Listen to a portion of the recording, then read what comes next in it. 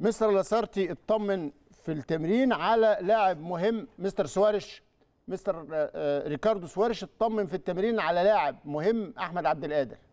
راجع أحمد من إصابة تقريبا ما شافهوش آه، سوارش قبل كده.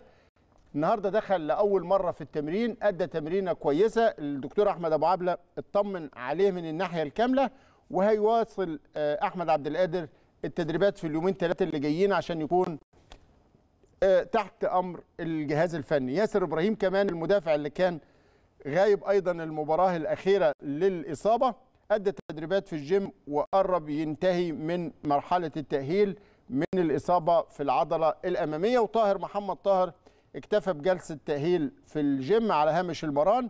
والدكتور أحمد أبو عبلة قال إن طاهر كان اشتكى من كدمة في الركبة. آه، اتعرض ليها في مباراة الجونة الأخيرة وإن المقرر يخضع لفحص طبي قبل ال- المران بتاع بكرة عشان يحدد موقفه.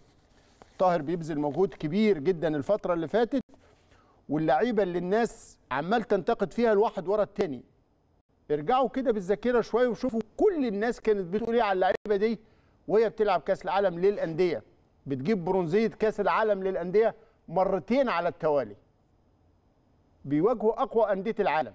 وكانت كل الناس بتشيد بيهم وتمتدحهم ودلوقتي يقول لك لعيبة ما تليقش بالأهلي. اللي حصل ده مين اللي عمله؟ مين اللي عمل كل اللي فات؟ في أخطاء قلت لكم في أخطاء في تقصير في تقصير في أخ... في وفي عدم أسباب يا تركيز. أستاذ إبراهيم. ليها أسباب. في أسباب. يعني أنت أحيانا تقصر مش لأنك عايز تقصر. أو آه. لأنك مهمل لأنك م- مش قادر. أو قادر بس بتاخد قرار غلط. على فكرة المباراة اللي فاتت دي هي مباراة قرارات الخاطئة. أيوة. وسموحة. أيوه. القرارات الخاطئة. وأنت عندما تكون مش في كامل لياقتك النفسية والبدنية ما تعرفش تاخد القرارات السليمة. مم. هنتكلم بالتفصيل في الفقرة. آه بيرسي تاو ولويس ميكيسوني بيواصلوا أيضا المراحل التأهيلية من الإصابات اللي اللي مروا بيها تحت إشراف الدكتور طارق عبد العزيز أخصائي التأهيل. ميكيسوني بيعاني من جزع في الرباط الداخلي للركبة.